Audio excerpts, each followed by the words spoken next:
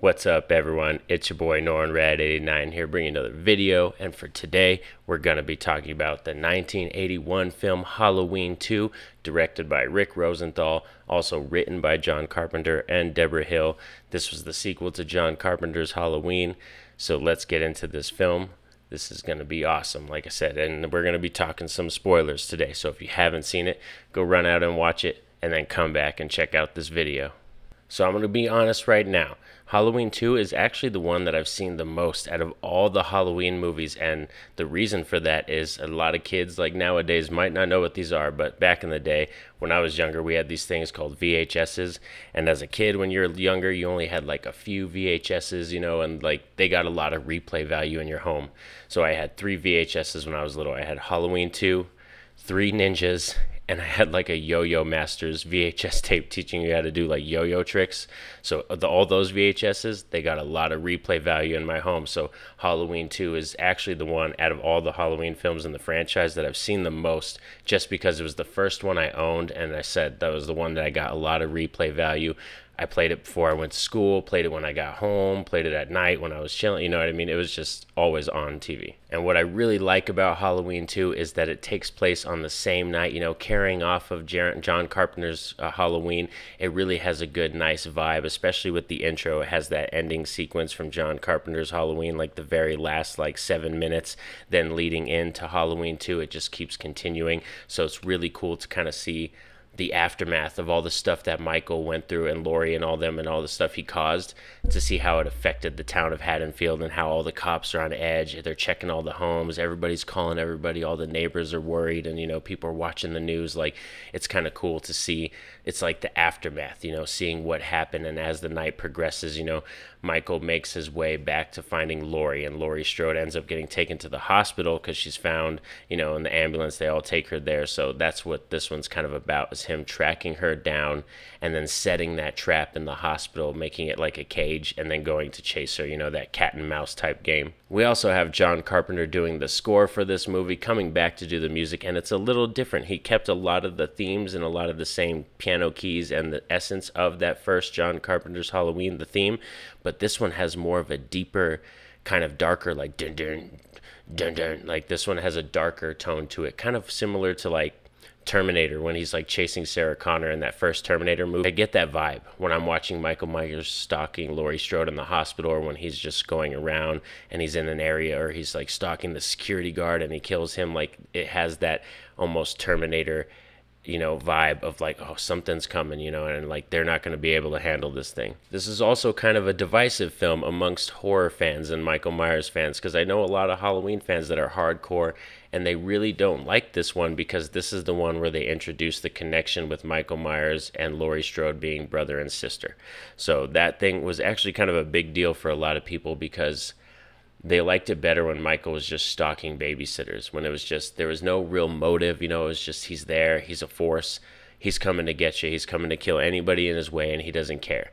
So in this one, it's more like they made that connection thing of like Laurie is his goal. That's what he's going back to kill because he killed his older sister when he was younger. So it's like that's what he's going for now is to take care of the rest of his family. And like I said, that it was added into this film. This was the first movie where it got brought up.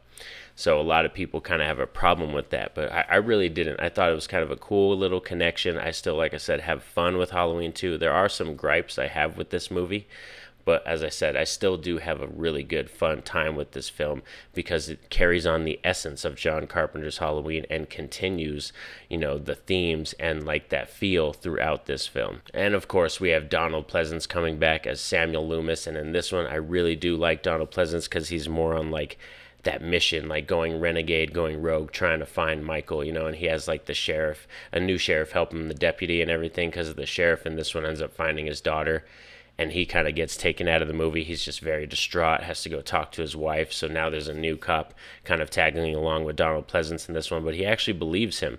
And that's what I like is it's cool to see an officer or a cop that's like, all right, I, I know based on what's happening and all the stuff that has happened, we need to go out and check these houses again. We need to find Myers for sure. Also, you can tell Rick Rosenthal and all them had a bigger budget for this movie. We have a couple big explosions in this movie, one with a car and then one in the ending third act of this film. And man, like that, that's pretty cool. Like I said, with the budget being a little bigger, you could kind of tell that they have like the explosions. They have a lot of more camera work, a lot more different locales and sets in this movie, even though the hospital is kind of the main one there are other places throughout Haddonfield that we see as Michael's making his way to the hospital. And as I said, like I still do have a really good fun time with this one. Halloween 2 I return to a lot. It is still in my top 5 of the favorite of the Halloween franchise. It's still in the top 5. It's actually I think my number 3 favorite that we have and I still like I said just like the tone and it's mainly cuz it carries on John Carpenter's uh, Halloween like that tone that it had in that first film.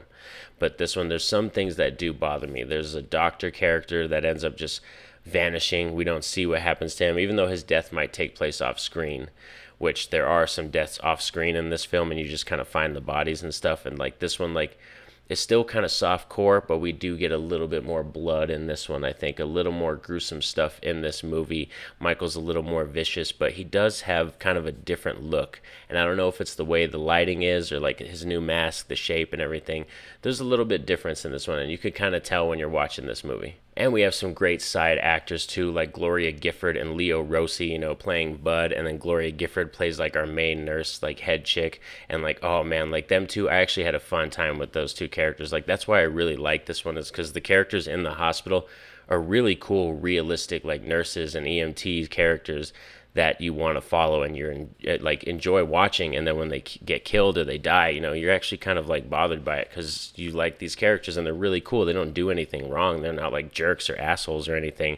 You know they're just in the way of michael myers as he's trying to get to his sister. So overall in my book halloween 2 gets an 8 out of 10 like i said there's just some kind of things like little small nitpicky things that kind of get in the way of this film of it being up to par. And like that third act, it, I like the third act, but it does kind of take time and fall apart in that room with Donald Pleasence and Laurie Strode, and then like Michael like starts bleeding from the eyes because he gets like a shot in the mask or shot in the face or something explodes in his face. Like it's just really kind of like not handled that well that ending scene but i really knew what they were going for i respect it because it's this epic explosion like boom you know like ending of michael myers and then you see him walk out in the fire and like the hallway and he just passes out on the floor and Laurie's like what the you know so it's uh, like I said it's still a very powerful film. Halloween 2 like is definitely a staple for me when I binge watch the Halloween films. Like you got to watch Halloween and that always makes me want to watch Halloween 2 because as I said they do coincide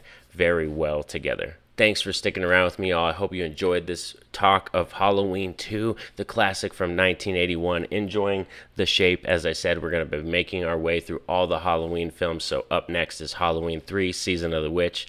Definitely in the comments section, let me know what you thought of Halloween 2, this original one. Did you guys love this film? Did you hate the reveal of the brother sister thing? Like, definitely, I would love to hear from all of you, as I said.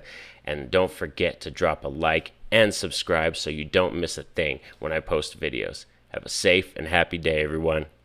Peace out.